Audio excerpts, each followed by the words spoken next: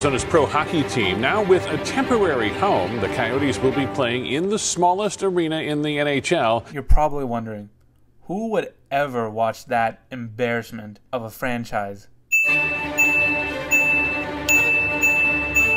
Well, I did. Tickets were 40 bucks and this beanie came free. I've never been to a hockey game before, but I thought this was the perfect time to go. Tickets were cheap, it's in Tempe, and it's a professional NHL franchise playing in a college stadium. But I was hoping to see a fight and I did get that.